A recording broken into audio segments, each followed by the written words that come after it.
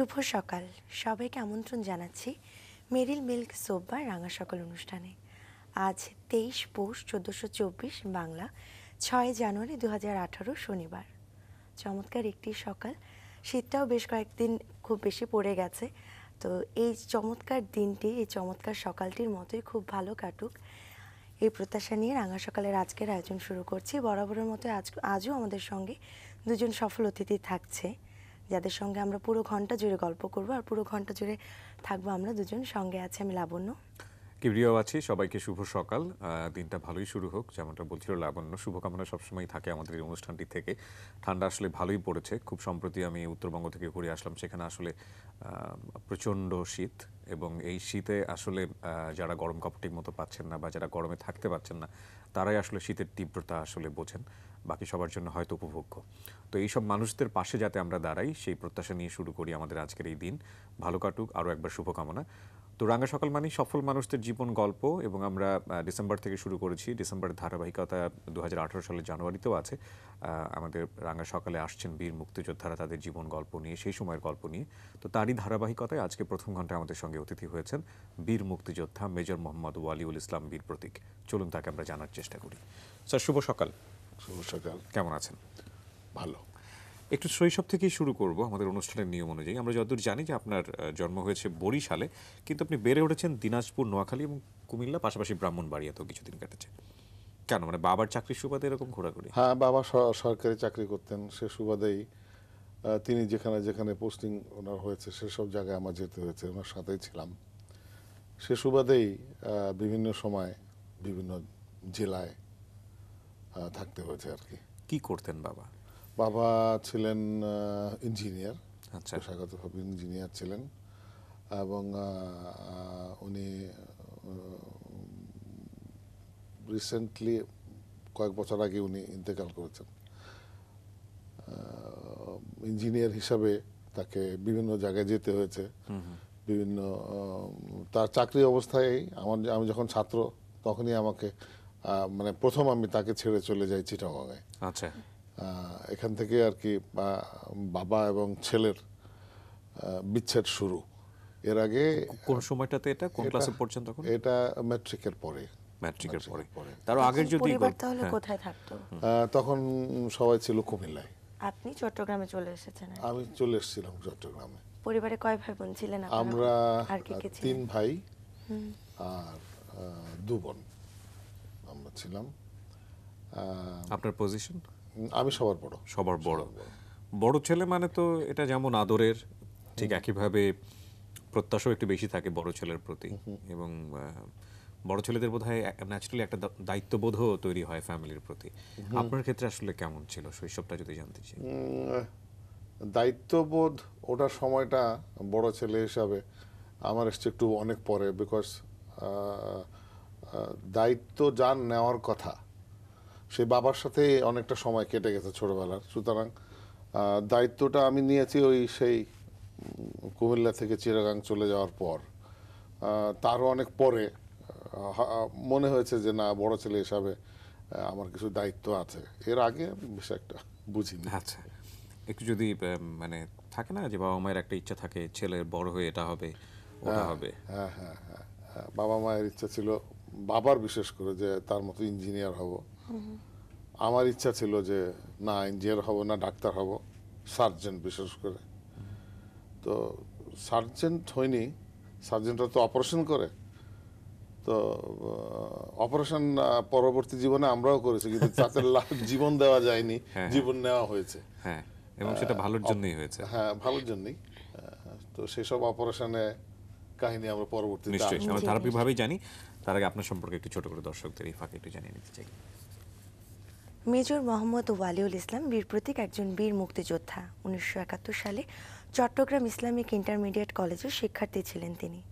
ছাব্বিশে মার্চের পর কয়েকজন সহপাঠীকে সাথে নিয়ে চট্টগ্রামের ষোলো শহর এলাকায় পাকিস্তান সেনাবাহিনীর বিরুদ্ধে প্রতিরোধ গড়ে তোলেন। সেই সময় তিনি বেশ কয়েকটি প্রতিরোধ যুদ্ধে সক্রিয়ভাবে অংশ নেন। এর মধ্যে কালুরঘাট, মীরের সরাই করের হাট হিয়াকো, রামগড় ও শুভপুরের যুদ্ধ অন্যতম। প্রতিরোধ যুদ্ধ শেষে প্রশিক্ষণ নিতে ভারতে যান তিনি। প্রথমে ত্রিপুরায় হরিণা ক্যাম্পে এবং পরবর্তীতে জল, জলপাইগুড়ির মূর্তি ক্যাম্পে প্রশিক্ষণ নেন।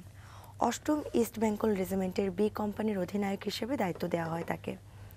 সিলেট জেলার ফেঞ্চুগঞ্জ, সিলেট রেল লাইন, গোপাল, গোলাপগঞ্জ এবং মৌলভীবাজার জেলার বড়লেখা ছোটলেখা সহ আরও কয়েকটি স্থানে সাহসিকতার সাথে যুদ্ধ করেন তিনি।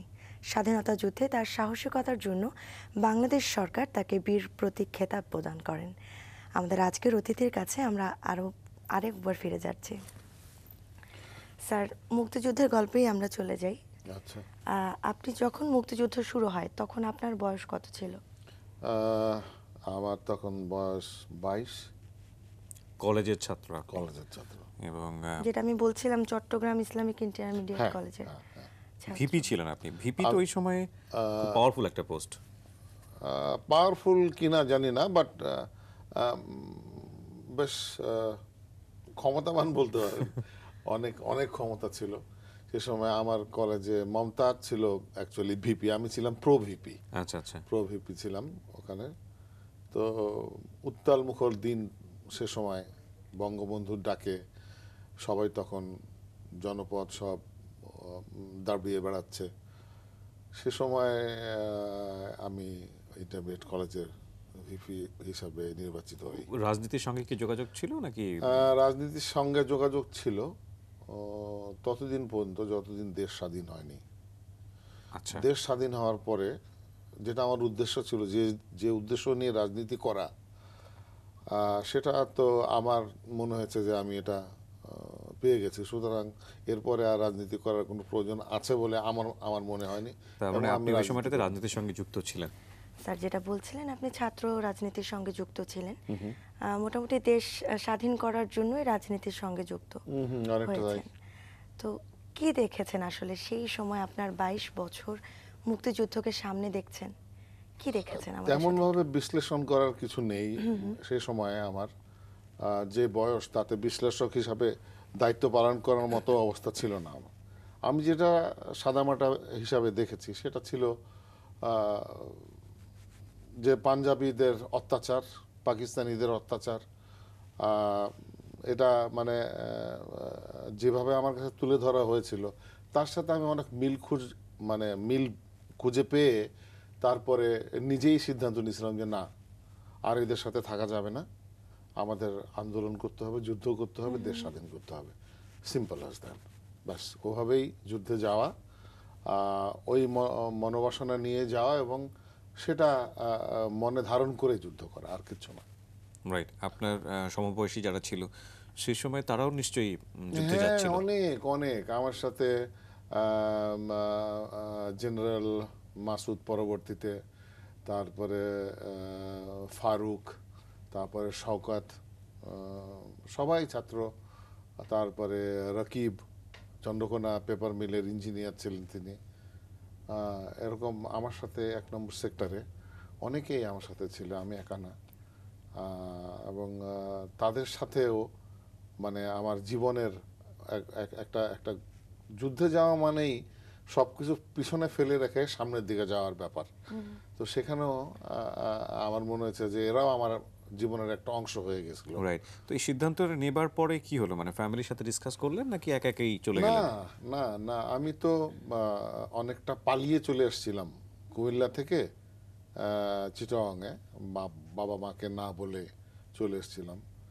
তো যেভাবে তাদেরকে না জানিয়ে চলে এসেছিলাম সেভাবেই রাজনীতিতে যাওয়া সেভাবেই আমার জীবন লিড করা পরবর্তীতে এবং যুদ্ধে যাওয়াটাও আমার একক সিদ্ধান্ত। আমি কাউকে জানাইনি। হ্যাঁ যেদিন ফাইনালি চলে যাই আমার এক চাচা ছিলেন আমার সেজো চাচা চিটাগংয়ে। ওনাকে খালি বলে গেছিলাম যে আমি চলে গেলাম। ব্যাস এ পর্যন্তই। যুদ্ধের সময় আপনি চট্টগ্রামে এসে হ্যাঁ, পড়েন। চট্টগ্রামে। এক নম্বর সেক্টরেই আমি প্রথম যোগদান করি। জিয়াউর রহমান যেদিন অষ্টম ইস্ট বেঙ্গল রেজিমেন্ট নিয়ে বেরিয়ে আসেন প্রথম তার সাথে আমার আর আমার বন্ধু শওকত এবং আর এক শওকত চিকনা শওকত বলতাম আমরা আমাদের সাথে আমার সাথে আমাদের সাথে প্রথম দেখা। ওখান থেকেই আমাদের অ্যাকচুয়ালি আর্মির সাথে সেনাবাহিনীর সাথে থেকে যুদ্ধ করার ই শুরু। ওই দিন থেকে শুরু। আমি মানে যেটা বলছিলাম ছাব্বিশে মার্চের আগেই হয়তো আপনি যুদ্ধ শুরু করেছিলেন যে যুদ্ধে যাওয়া হয়েছে হিসাবে যেহেতু ভিপি ছিলাম রাজনীতি করতাম তো অনেক আগের থেকেই মানে এই যুদ্ধের এই প্রস্তুতির যে ডামাডোল সমস্ত দেশ জুড়ে চলছিল তখন আমি সেসব ব্যাপারে চিটংয়ে নেতৃত্ব দিয়েছি তাদের সাথে থেকেছি। যুদ্ধটা অ্যাকচুয়ালি আমার অনেক আগেই শুরু হয়ে গিয়েছিল আর কি। তো অষ্টম বেঙ্গলে যারা বেরিয়ে আসলো তাদের সাথে যোগ দেওয়ার পরে এটা আবার ছাত্র জীবন থেকে সেনাবাহিনীর জীবনে না কিন্তু আপনি যে যোগ দিচ্ছেন তাদের সঙ্গে এটা কি আগে থেকেই প্ল্যান ছিল যে এরকম একটা ইনফরমেশন পেয়েছিলেন নাকি হঠাৎ করে হয়ে তারা বের হয়ে আসবে তাদের সাথে যোগাযোগ ছিল। আমাদের বড় নেতা যারা ছিলেন আওয়ামী লীগের তারা যোগাযোগ রাখতেন তাদের সাথে যোগাযোগ ছিল এবং তাদের মাধ্যমে জানতাম যে বেরিয়ে আসবে। বেরিয়ে আসবে তো শুধুমাত্র যে ইস্টবেঙ্গল বেরিয়ে আসবে এটা ভাবিনি ভেবেছিলাম আরও আসবে কিন্তু তারা আসতে পারেনি। তাদেরকে হত্যা করা হয়েছিল পরবর্তীতে ইবিআরসিতে আচ্ছা। তো মেজর জিয়া বের হয়ে আসলেন এবং আপনারা ওনার সঙ্গে হাত মিলিয়ে যুদ্ধ করা শুরু করলেন। আমরা একদম মানে দিনের গল্পগুলো জানতে চাই। কীভাবে কি ঘটনাগুলো ঘটলো আপনার ট্রেনিং আসলে আসলে এই ওনার সাথে আসার আগের একটা মজার ঘটনা আছে। রাইট সেটা হলো তখন তো আমরা ছাত্র। ছাত্র হিসাবে চারিদিকে মানে বিহারিরা ছিল ওখানে। বিহারিরা বাঙালিদের মারছে। আমরাও তাদের মারছি। এভাবেই আমাদের যখন সময় কাটছিল সে সময় চট্টেশ্বরী রোডে কাবলিয়ালাদের একটা বিল্ডিং ছিল। আচ্ছা। যেটা চট্টগ্রাম মেডিকেল কলেজের কাছেই হোস্টেলের কাছে এবং এটা সিমেট্রি আছে একটা ওখানে সিমেট্রির সাথেই। জেমস ফিনলের একটা ফ্যাক্টরি ছিল তার পাশে এই বিল্ডিংটার অবস্থান ছিল সেখানে সব কাবলিয়ারা থাকতো। আচ্ছা। তো আমি গিয়ে দেখলাম যে ওখানেও ওরা গুলি টুলি করতেছে, লোকজন মারতেছে, আমরা গেলাম সেখানে। যাওয়ার পরে আমার চেহারাটা ঠিক বাঙালি বাঙালি ছিল যে, তাও আমি বলব না। আমার কাছে আমার নিজের কাছে বাঙালি মনে হতো না। খুব ফর্সা ছিলাম, শুকনা ছিলাম। চুল খুব লম্বা লম্বা রাখতাম। ছাত্র মানুষ। তো সেখানে আমি যাওয়ার পরে ওখানে যে গিয়ে দেখলাম যে গোলাগুলি হচ্ছে ঠিকই, কিন্তু তার তার মধ্যে আবার লুটপাটও হচ্ছে। তো একদল বাঙালি মনে হয়, তারা লুট করছিল ওখান থেকে। মানে গোলাগুলির এই, এর মধ্যে হামলা করা ওদের মারা বা ওরা গুলি করতেছে এর মধ্যে যে যা পারছিল হাতিয়ে নিচ্ছিল। বিহারিদের। বিহারিদের ওই কাবলিওয়ালাদের। রাইট আমরা এখান থেকেই ফিরি। সো আমরা যে গল্পে ছিলাম যে আপনি দেখছিলেন কাবলিওয়ালাদের সাথে। তো এটা আমার কাছে সহ্য হয়নি যে এটা অ্যাকচুয়ালি তো যুদ্ধের সময় বা ওই সময় যেসব সম্পত্তি আমরা আহরণ করব এগুলো দেশের সম্পদ হিসাবে গণ্য হবে। কিন্তু দেখলাম যে লুটপাট করছে এটা আমি তাদের বারণ করলাম। বারণ করলাম যে এগুলো এরকম করো না এগুলো নিও না। তো সে সময় আমরা প্যান্ট শার্ট বেশ একটা পরতাম না। আমরা প্যান্ট শার্ট পরলেও তার উপর একটা লুঙ্গি পরে নিতাম। লুঙ্গি পরে নিতাম এই জন্য যে প্যান্ট শার্ট পরলেই ওরা সরাসরি বিহারি মনে করতো বা পাঞ্জাবি মনে করতো চেহারাটাও অনেকটা এরকম। আচ্ছা। কিন্তু যা ঘটার লুঙ্গি পরার সত্ত্বেও যা ঘটার তারও চিন্তা করল যে ওরা যেহেতু বাধা দিচ্ছে মুশকিল। আর চেহারাও বিহারিদের মতো পাঞ্জাবির মতো ফর্সা। তো চিটাগাঙ্গের ভাষা বলল দর সালারে বিহাজিয়া মানে বিহারি। আচ্ছা আচ্ছা। বলেই আমাকে ধাওয়া করল। আমার আমি আমার একটা জিপের মধ্যে মানে জিপের থেকে নেমে দাঁড়িয়ে কথা বলছিলাম। ওই জিপটাও আবার আমিন জুট মিলের একটা জিপ ছিল যেটা আমরা তেইশ তারিখে হাইজ্যাক করেছিলাম। আচ্ছা। তো আমার মনে হয় এর আগে হাইজ্যাক শব্দটা আমরা ঠিক শুনি নাই। এবং ওই ওই মনে হয় চিটাঙে প্রথম হাইজ্যাক হ্যাঁ সেটাও আর একটা ঘটনা। যাই হোক তো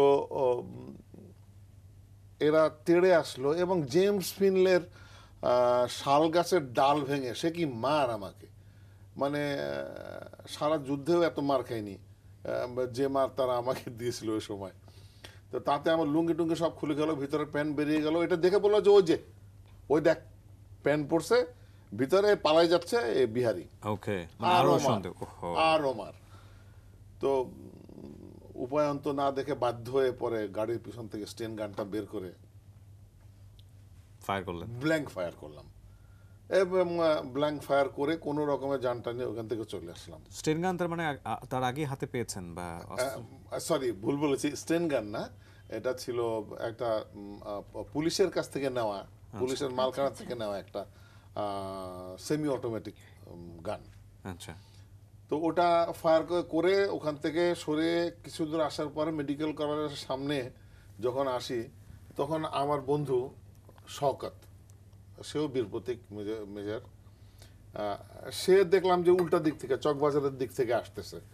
এবং সে এসে আমাকে দেখেই হাত উঁচা করে থামালো আমাকে দেখল যে আমার খুব খারাপ অবস্থা। আমি দেখলাম ওরও খারাপ অবস্থা। তো আমি বললাম কিরে শকত কি হয়েছে? সে আমাকে জড়িয়ে ধরে চিৎকার দিয়ে কাঁদতে কাঁদতে বলল যে আমাকে মাকরানি বলল জবাই করে দিতে গেছিল। ও এমন কালো ওর চেহারা কালো এবং মাকরানির মতোই লাগে। তো ওকে ধরে মানে জবাই করার দেওয়ার অবস্থায় ওইখান থেকে পালিয়ে আসছে সে। আচ্ছা। তো সে আমাকে ধরে মানে দুজনে কতক্ষণ কাঁদলাম আর কি যে দেশের জন্য যুদ্ধ করতে আসছি প্রথমেই মাইর খেলাম। তাও দেশের মানুষের কাছ থেকে? হ্যাঁ তাও দেশের মানুষের কাছ থেকে। আমাদেরকে উল্টা বিহারি বলে মার। এই একটা ঘটনা আর একটা ঘটনা ছিল মানে তখন তো আমরা তো সেনাবাহিনীতে জয়েন করিনি বা এক নম্বর সেক্টরে যাইনি। আমি এর আগের ঘটনাগুলো বলছি। তখন আমাদের দিন চলতো যে আমাদেরকে কেউ কোনো টাকা পয়সা দিত না। আমাদের চলতো কি- কীভাবে? চলার জন্য আমরা চিটাং কলেজের পঁচিশ নম্বর হোস্টেলের পঁচিশ নম্বর রুমে আমরা ওখানে একটা ছোট্ট কারখানার মতো করেছিলাম যেখানে আমরা পতাকা বানাতাম। আচ্ছা। বাংলাদেশের পতাকা। বিভিন্ন আকারের পতাকা বানাতাম এবং সেই পতাকা বানিয়ে এগুলো আমরা বিক্রি করতাম।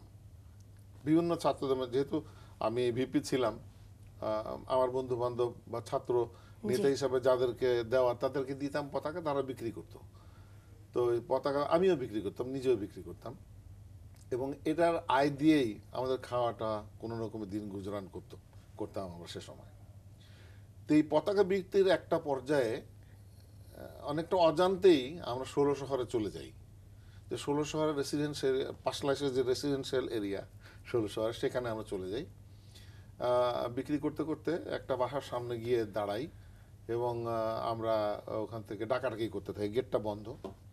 তো ওই সময় একটা লোক আসে আসে বলে যে কি চান আপনারা? বললাম যে আমরা পতাকা বিক্রি করতে আসছি আমাদের পতাকা নিতে হবে। নিতে হবে না একটা জোরই আর কি। তো বলা হচ্ছে দাঁড়ান আমি একটু জিজ্ঞেস করে আসি। তো আমরা আমি আর আমার এক বন্ধু ছিল ইউসুফ ও ছিল জিএস আমরা দুজন দাঁড়ালাম ওখানে। একটু পরে এসে ও গেটটা খুলে আমাদেরকে নিয়ে গেল। তো নিয়ে গিয়ে বাসার সামনে না নিয়ে আমাদেরকে বাসার পিছনে একটা পোড়ো বাড়ির মতো মনে হচ্ছিল। পোড়ো বাড়ি কেউ নাই এরকম। তো সামনে না নিয়ে আমাদেরকে বাড়ির পিছন দিকে নিয়ে গেল। পিছনে একটা সিঁড়ি ছিল উপরে ওঠার। বাইরের দিকে যে সিঁড়ি থাকে সেরকম একটা সিঁড়ি। তো ওখানে গিয়ে দাঁড়ানোর পর দেখলাম এক ভদ্রলোক এসে আমাদের জিজ্ঞাসা করল যে কি বিক্রি করতেছো? তো বললাম স্যার আমরা পতাকা বিক্রি করতেছি। কই পতাকা? দেখি দেখি। তো ওই যে ছেলেটা আমাদেরকে ভিতরে নিয়ে এসেছিল ওকে পাঠিয়ে দিল ও আমার হাত থেকে একটা পতাকা নিয়ে উপরে চলে গেল। উপরে গিয়ে ওনাকে যখন দেখাচ্ছে ঠিক তখন একজন ভদ্রমহিলা গোলাপি রঙের সম্ভবত গাউন পরা উনি এসে দেখলাম যে উনিও খুব আগ্রহ ভরে দেখছেন। হুম হুম হুম। জি। আহ, পতাকাটা। দেখে খুব ভালো সুন্দর মন্তব্য করলেন। এবং আমাদের কাছ থেকে দশ টাকার পতাকা পঞ্চাশ টাকা দিয়ে ও সময়। ফাইন মেরিল মিল্ক সোববার রাঙা সকাল অনুষ্ঠানে দুই থেকে সাত বছরের শিশুদেরকে জন্মদিনের শুভেচ্ছা জানানো হয়। আগ্রহী অভিভাবকগণ জন্মদিনের সাত দিন আগে শিশুর ছবি নাম যোগাযোগের ঠিকানা জন্মসনদের অনুলিপি ও ফোন নাম্বার পাঠিয়ে দিন এই ঠিকানায়। প্রযোজক রাঙা সকাল মাছরাঙা টেলিভিশন দুই বীরুত্তম জিয়াউর রহমান রোড বনানী ঢাকা এক দুই এক তিন। এছাড়া ইমেল করতে পারেন আর A N G A S H O K A L Ranga Sokal at Maasranga dot TV এই ঠিকানায়। দর্শক আমরা আবারও ফিরে যাচ্ছি আমাদের অতিথির কাছে। আমরা যেখানটায় ছিলাম যে হ্যাঁ, মজার ব্যাপার. হলো যে যে ভদ্রলোক ছিলেন উনি ছিলেন জিয়াউর রহমান মেজর জিয়া আর ভদ্রমহিলা ছিলেন বেগম খালেদা জিয়া।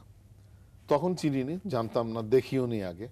এটা কনফার্ম হলো পরে যখন এইট বেঙ্গল ষোলো শহর থেকে বেরিয়ে এসে জিয়া রহমানকে দেখলাম তখন তাকে ঘটনা ঘটনা বলার পরে উনি বললেন যে হ্যাঁ আমি ছিলাম। তো উনি তো যুদ্ধে চলে গেলেন খালেদা জিয়াকে আর আমরা ওনাকে আর নিতে পারলাম না। উনি আর যুদ্ধে ওই সময় আমাদের সাথে যোগদান করেননি যাননি। তো এটাও একটা মানে আশ্চর্য একটা মিরাকেলের মতো ঘটনা। কোইন্সিডেন্ট. পারে। স্যার আমরা যদি একেবারে আপনার ওই যুদ্ধে যোগদান করার সময়টা থেকে যদি একটু জানি যে কীভাবে অংশগ্রহণ করলেন ট্রেনিংটা কোথায় হলো এবং প্রথম অপারেশনটা কোথায় ছিল? আর যুদ্ধে তো গেলাম এইট বেঙ্গলের সাথে ওই যে ওই যে গেলাম এরপরে তো আর তাদের সাথেই ছিলাম আর আমাদের সিভিল লাইফে আমরা ফিরে আসিনি। আমাকে আমাদের বিভিন্ন জনকে বিভিন্ন কমিশন অফিসারের আন্ডারে দেওয়া হলো। তা আমার আমাকে দেওয়া হলো শামশের মুবিন লেফটেন্যান্ট শামশের মু- মুবিনের সাথে। আমি ওনার সাথেই ছিলাম। কালুঘাট যুদ্ধে প্রথম আমরা অংশগ্রহণ করি। আর জিয়াউর রহমান যেদিন ওনার যে ভাষণ কালুঘাট বেতার কেন্দ্রে থেকে দিয়েছিলেন সেখানেও আমি ছিলাম। আমার বন্ধু শওকত আমরা দুজনেই ছিলাম। স্যাবরজেট স্টেপিং করার জন্য এসেছিল। এবং আশ্চর্যের ব্যাপার হলো যে আমরা তো তখনও ফৌজি না তখন তো আমরা ছাত্র।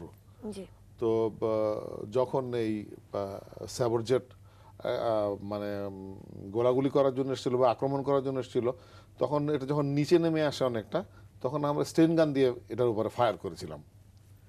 তো তখন আহ, পরবর্তীতে কর্নেল বলি উনি এসে খুব গালাগালি বকাবকি করলেন আমাদের যে আমরা আমাদের স্থানটা কোথায় আমরা সেটা জাহির করে জাহির করে দিচ্ছি। এবং স্টেন গান দিয়ে ই মারা সম্ভব না।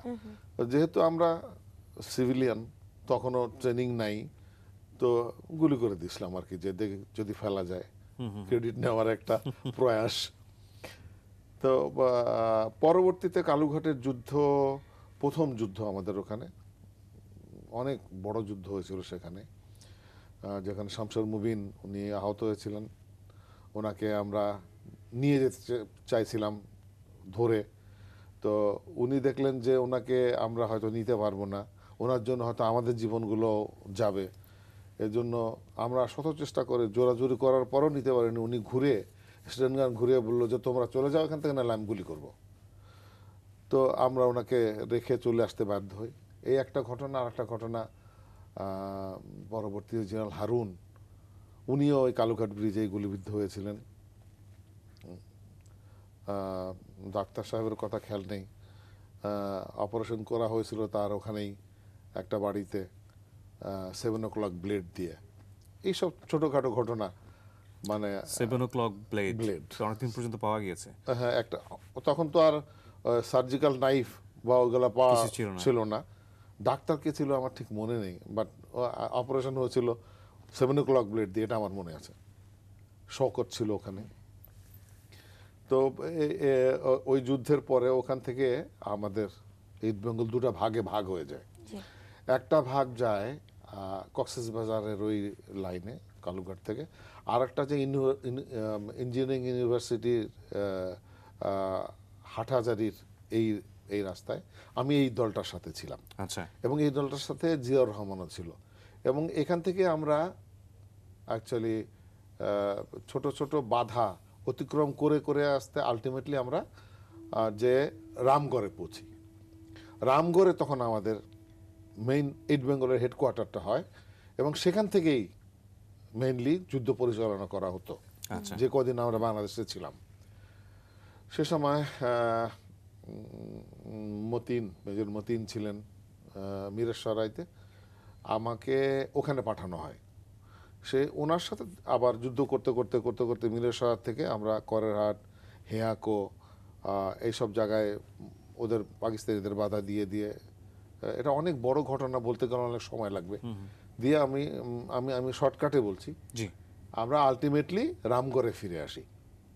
রামগড়ে ফিরে আসার পর ওখানে যেন শকতও ছিলেন মেজর রফিক অন্য অন্য অফিসার যারা ছিলেন তারা ছিলেন। অন্য দিক থেকে যারা কক্সবাজার গেছিল তারাও আস্তে আস্তে পিছনে যুদ্ধ করতে করতে পিছনে এসে আলটিমেটলি আমাদের সাথে রামগড়ে এসে তাদের সাথে আমাদের দেখা হয়। এবং মাহালছড়ির যুদ্ধে আফতাব কাদের ক্যাপ্টেন আফতাব কাদের উনি ওখানে শহীদ হন। তার তাকে আমরা নাম করে পরে কবর মানে রাইট ই স্যার যেই যুদ্ধের জন্য বেসিক্যালি আপনাকে বীর প্রতীক উপাধি দেওয়া হলো সেটা আসলে কোনটা ছিল? সেই অপারেশনটার কথা- কথাটা একটু শুনি। আমরা এক সময় আমাদেরকে আমরা বাধ্য হই বর্ডার ক্রস করে অন্য ভারতে চলে যেতে। যেদিন যাই আমরা এটা না বললেই না সেদিন সাবরুম যখন ক্রস করি আমরা যে খালটা দিয়ে ক্রস করি তার পানির সাথে আমার চোখের পানি এক হয়ে গেছিল। অনেক কেঁদেছিলাম।